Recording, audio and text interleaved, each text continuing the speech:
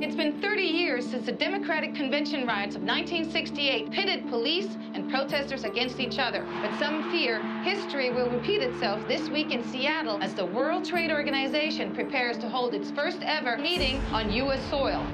I gotta go, baby. Oh, no, don't go now. I wish I didn't have to. I'm running late as it is.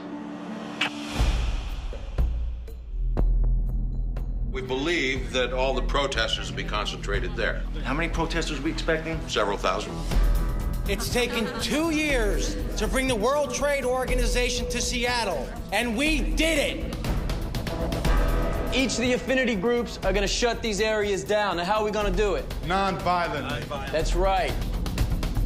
Be tough on your issues, but be gentle on my town.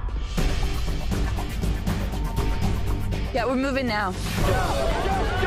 The protesters have seized the intersections outside. Nobody in! Nobody out!